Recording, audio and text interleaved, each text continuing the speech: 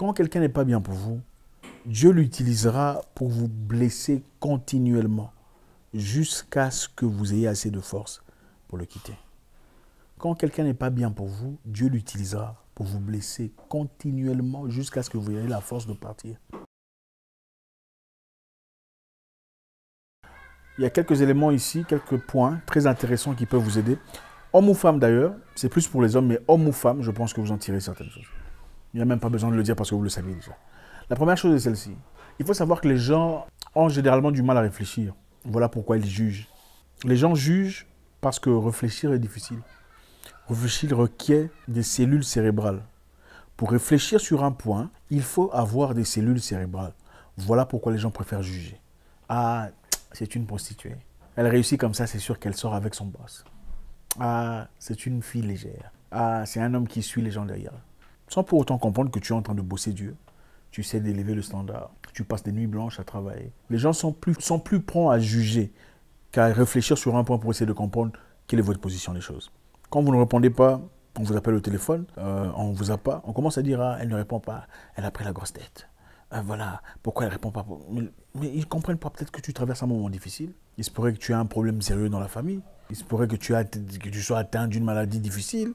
On, te l'a informé et que tu as été incapable de... Donc les gens ne réfléchissent pas, généralement. C'est facile de juger, d'accuser, que d'essayer de structurer les pensées, avoir des lignes de pensée et de contraire. C'est ça le problème.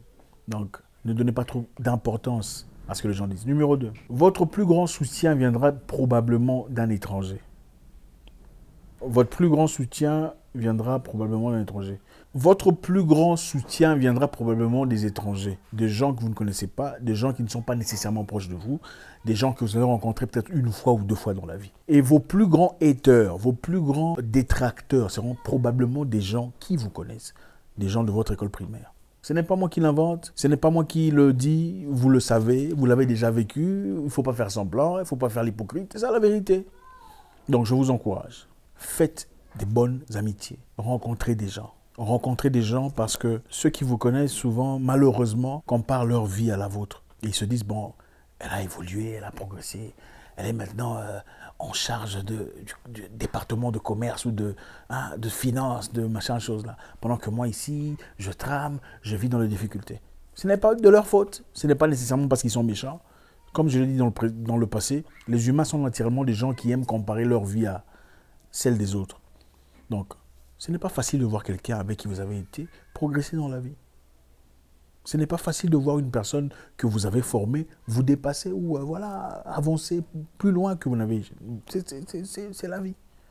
Donc, cherchez des gens nouveaux. Ayez le temps de discuter avec des gens. Dites bonjour aux étrangers. Ah, les gens qui pourront vous ouvrir. Écoutez, moi, quelqu'un m'a sorti de nulle part, nulle part, pour avoir dit bonjour, belle paire de chaussures. Ah bon, merci. Il est parti, ensuite, il est rentré. Mais tu parles bien, tu viens d'où Hein? Comment ça se fait que tu es là? J'ai commencé à expliquer. Il m'a dit, mais tu n'es pas censé travailler ici. Euh, donne-moi ton numéro, je vais t'appeler. C'est comme ça que les gens changent. C'est comme ça qu'on évolue dans la vie. Donc, votre plus grand soutien viendra probablement d'une personne que vous ne connaissez pas. Ne soyez pas restreint à dire ah, je ne veux pas des nouveaux amis. Parce que je sais qu'il y a des gens qui se disent moi, je ne veux pas des nouveaux amis. Les meilleurs amis sont les gens avec qui tu as grandi. Probablement, si vous avez cette chance, génial. Beaucoup n'ont pas cette chance. Numéro 3. Restez seul jusqu'à ce que vous rencontriez quelqu'un qui soit, ah, qui soit analogue à ce que vous représentez. Restez seul jusqu'à ce que vous rencontriez une personne analogue à ce que vous êtes. C'est-à-dire, beaucoup de gens ne peuvent pas vivre en restant seuls, célibataires. C'est quoi cette maladie? Et c'est la raison pour laquelle beaucoup de gens vont des relations en relation. Relation ne marche pas. Deux semaines, ça n'a pas marché. Trois mois, ça n'a pas fonctionné. Sept mois, ça, tout ça. Et après, quand on vous demande de parler de votre passé, vous ne voulez pas parler de votre passé. Mon passé, c'est mon passé. Je n'ai pas envie de parler de mon Pourquoi tu as un passé chargé? Pourquoi tu, as, tu es jeune, tu as un passé chargé comme ça? C'est honteux. C'est honteux quand même. Hein? C'est honteux. Tu es jeune, mais tu as un passé chargé. tu n'arrives plus à parler de ton passé et tu commences à trouver des justifications, euh, ne pas vouloir parler de son passé, ça ne veut pas dire qu'on a fait du porte-à-porte au porti-portage, je ne sais plus. C'est simplement qu'il y a des choses qu'on ne peut pas dire. Mais pourquoi, pourquoi tu as des choses que tu ne peux pas dire? Comment, comment tu en es arrivé là? Non, il faut être sérieux. Il faut être sérieux. Comment tu en es arrivé à un point où tu ne peux pas parler des choses que tu as fait? Il faut apprendre à rester seul. Quand on vous dit qu'il faut rester seul jusqu'au mariage, vous n'aimez pas ça. Ça, vous n'aimez pas. Mais on aime juger. Ah, celui-là, c'est un sorcier. Il n'est plus pas dans notre église. Là, on sait comment juger. Mais quand on vous dit, mais l'impudicité, ça, ça, vous laissez pas. Il faut arrêter de juger les gens. Bref, une personne forte ne va pas de relation en relation. Il a le temps de réfléchir, le temps de guérir, le temps de, de se nettoyer mentalement, émotionnellement, physiquement, moralement. Voilà pourquoi beaucoup de personnes vivent aujourd'hui des éléments de leur passé. Vous vivez les mêmes défauts, les mêmes problèmes avec différents personnages. Prenez le temps d'être seul jusqu'à ce que vous rencontriez une personne analogue, égale à ce que vous êtes. Une personne qui a le même degré de loyauté, le même degré d'engagement, le même degré de dévouement. Non, on ne découvre pas ces histoires, je vous vois venir. Ah non, des fois, les gens vous montrent. Non, vous n'êtes pas intelligent l'être humain laisse toujours des traces de ce qu'il est. Écoutez, vous êtes déjà sorti de la douche, pas euh, nettement sorti de la douche sans vous, sans vous essuyer. Vous pouvez passer au salon comme ça sans que personne ne réalise que vous êtes passé. Êtes-vous déjà sorti de la douche sans vous mouiller et passer à la chambre sans que personne ne réalise que quelqu'un est passé ici? C'est impossible. Celui qui ne verra pas est seulement celui qui ferme ses yeux n'a pas envie de voir. La raison pour laquelle vous ne voyez pas ce que les gens sont en réalité, c'est parce que vous ne regardez pas ça. Tout ce que vous regardez, c'est son beau français. Vous regardez son attitude. Oh, qu'est-ce qu'il sent bon. Oh, il est intelligent. Mais les gens vous donnent toujours des miettes, des poussières de ce qu'il représente. En réalité, si vous écoutez attentivement, vous observez, vous voyez comment il se comporte, comment il réagit, comment il répond aux questions difficiles. Vous voyez ces histoires. Peut-être pas à la perfection, mais l'homme ne peut pas tout cacher pendant trop longtemps. Restez seul jusqu'à ce que vous rencontriez une personne qui en vaut la peine. Numéro 4, je crois. La plupart des gens attaqueront votre confiance en soi. Donc votre niveau de confiance en soi sera attaqué quand ils remarqueront que vous avez quelque chose de fort. Je ne sais pas si vous êtes déjà arrivé. Vous avez déjà entendu des gens dire, par exemple, ah lui là, qu'est-ce qu'il raconte? Tout ce qu'il dit. Bon, on sait déjà ce qu'il dit, hein, il ne dit rien de spécial. D'accord? Ah, elle, d'ailleurs, bon, elle est jolie, mais bon, elle n'est pas aussi, c'est pas la, pas la plus jolie de tout le monde. Hein. Tout le monde pourrait avoir son boulot, tout le monde pourrait être journaliste, tout le monde pourrait être secrétaire du président. C'est-à-dire, ce n'est pas que ce que vous dites n'a aucune importance ou ce que vous représentez n'a aucune importance. Ça veut simplement dire, on remarque ce que tu es, seulement on n'aime pas ça parce que c'est toi qui as su comment user de ce que tu as. Sinon, on n'en parlerait pas. Bon, il ne dit rien de nouveau, mais pourquoi vous n'avez pas dit ce qu'il dit là? Il ne dit rien de nouveau. Bon, ce qu'il dit, c'est bien, c'est intelligent, mais il ne dit rien de nouveau. Tout ce qu'il dit, on connaît déjà. Mais pourquoi, pourquoi toi, tu n'as pas encore dit ça? C'est ça. Donc les gens essaieront d'attaquer votre point fort parce qu'ils sont incapables de matcher votre point fort. Donnez pas attention à ça. Vous perdrez d'amis. Vous perdrez des amis. Numéro 5. On ne perd jamais un ami. On ne perd jamais un ami. On perd un faux ami sous couverture. On ne perd jamais un ami on perd un hater, un méchant, sous couverture d'amitié. Les gens que vous avez perdus dans le passé ne sont certainement pas vos amis. Et ce n'est pas pour dire que vous avez toujours raison à tout ce qui s'est passé. Vous aviez toujours raison. Ce n'est pas ce que je dis. Je dis ceci. Un vrai ami, même si vous êtes mauvais, s'il est mauvais, il sera mauvais avec vous. Un vrai ami, si vous êtes bon, si c'est votre ami, il sera bon avec vous. Il y a des gens qui vous aiment, mais qui ne sont pas nécessairement vos amis. Donc à un moment donné, il dira, bon mon cher, au revoir. Ce n'est pas votre ami. Un vrai ami, si vous tombez, et que on peut aussi rencontrer un ami qui est bon pendant qu'on est mauvais. D'accord? Mais c'est votre ami. Si vous êtes mauvais, votre vrai ami fera un effort pour vous tirer vers, vers, la, vers la positivité. Et si vous ne vous comprenez pas, il va vous laisser partir. Mais à la fin, quand vous aurez des problèmes, il sera là pour vous. C'est ça un ami. Les faux sont ceux qui diront, mais on lui avait dit, on l'avait prévenu. Tu vois, maintenant il est à l'hôpital. On lui avait dit, on l'avait prévenu. Tu vois, maintenant il a tout perdu. En se moquant. Ça, c'est pas un ami. Un vrai ami, pourrait se, ah, dégager, se détacher de toi, pourrait aller faire son histoire, vivre sa vie.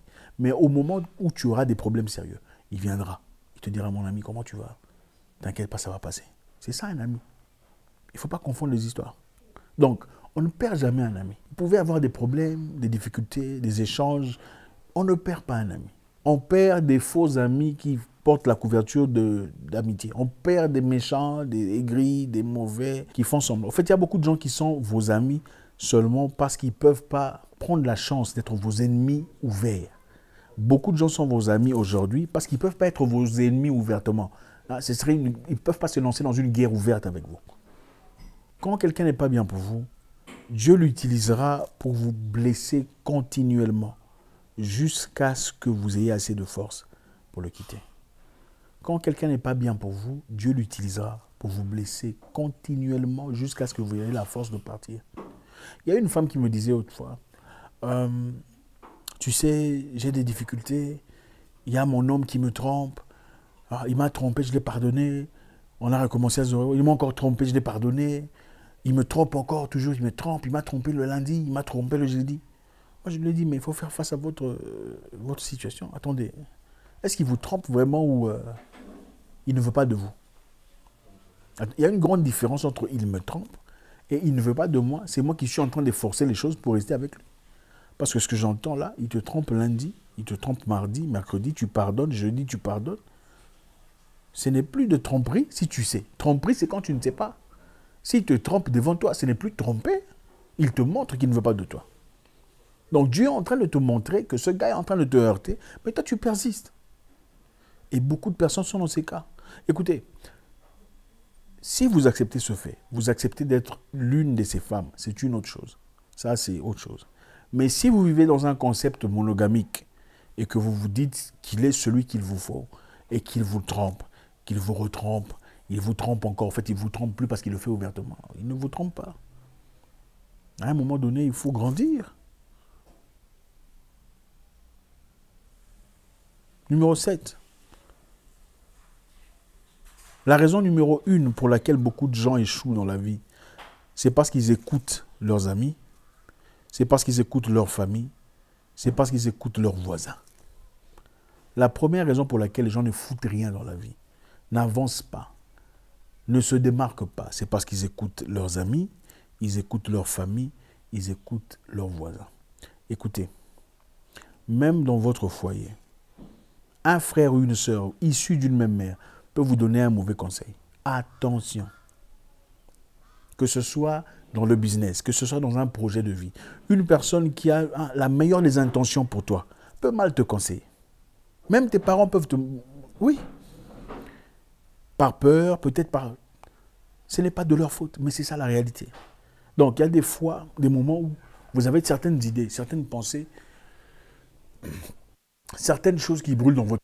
Vous n'écoutez personne mais vous êtes assez mature pour en assumer les conséquences, si conséquences il y a.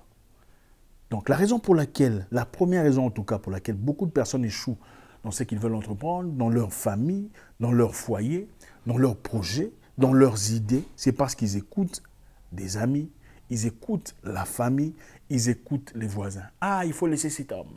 Sa façon d'agir, déjà comme il est parti comme ça. Vous êtes à deux kilomètres de distance. Moi, je te dis, j'ai déjà fait ça dans le passé. Ce n'est pas ta réalité. Cette personne vous raconte sa réalité à elle. Ce n'est pas votre réalité. Mais elle ne vous dit pas combien elle était impolie, combien elle était insolente. Oh, les hommes sont tous pareils. Non, mais elle ne te dit pas comment elle, était irrespectueuse, comment elle n'écoutait pas, comment elle était belliqueuse. Ça, on ne vous dit pas. On vous dit seulement, non, il ne faut jamais faire ça. Il faut appeler la police s'il fait ça. au fait, il y a beaucoup de gens qui veulent trouver des solutions à leurs problèmes passés déjà dans, dans votre vie. Donc les choses qu'elle aurait voulu faire dans son passé, elle essaie de le faire dans votre vie. Le prix qu'elle aurait voulu faire payer son ex-mari, son ex-machin, elle veut faire payer à votre mari qui n'est innocent, qui n'a rien fait. Écoutez votre cœur. Écoutez votre intuition. Votre intuition n'est pas là pour rien. Votre intuition n'est pas là pour rien. Mais soyez assez mature pour en assumer les conséquences. Quelquefois, il faut se taire. Vous avez des problèmes dans votre maison, vous n'êtes pas obligé d'en parler à votre petite soeur, votre grande soeur. Hein. C'est votre problème. Bah oui, quelquefois votre grande soeur peut vous donner un mauvais conseil. Ah oui, c'est ça la vie. Numéro 8, je crois, et on va finir. La meilleure chose à faire dans la vie, c'est d'arrêter de raconter sa vie à tout le monde. L'une des meilleures choses à faire dans la vie, c'est d'arrêter de raconter sa vie à tout le monde. L'une des meilleures choses à faire dans la vie, c'est d'arrêter ou de ne pas raconter sa vie à tout le monde. Les gens ne peuvent détruire que ce qu'ils connaissent, ce qu'ils savent. Si on ne sait rien, on ne peut pas détruire. C'est difficile. C'est presque impossible de détruire une personne si on ne connaît rien sur lui. Hein, ça ne sert que des spéculations. Il paraît qu'il est marié à un truc. Il paraît qu'il aurait épousé aussi là-bas. Il paraît qu'il a fait des enfants. Non, les y paraît. Donc, c'est difficile de vous détruire quand on ne vous connaît pas. Je comprends que beaucoup de personnes viennent étaler leur vie et tout le reste. Même quand vous étalez votre vie, il faut savoir sélectionner. Et là, je m'adresse à ces personnes qui sont des, des, gens qui aiment, ou soit, soit ils sont des gens, des personnages publics, ou des gens qui sont obligés de faire ça. Quand vous étalez votre vie, il faut choisir méticuleusement. Parce que ce sont sur même, ces mêmes histoires que vous étalez sont les bases sur lesquelles on va se poser pour vous bombarder. Il y a des bonnes nouvelles qu'on ne raconte même pas aux proches, aux proches amis. C'est stratégique. Il y a des choses que tu peux raconter à ami A. Il y a des choses que tu ne peux raconter qu'à ami B. Il y a des choses que tu ne peux raconter qu'à ami C. Voilà pourquoi beaucoup ici regrettent aujourd'hui leurs fausses amitiés. Quand finalement vous découvrez que ce n'était pas une vraie, amitié et que cette personne commence à propager vos nouvelles, à raconter des histoires secrètes que vous lui avez racontées, vous regrettez. Mais on était amis.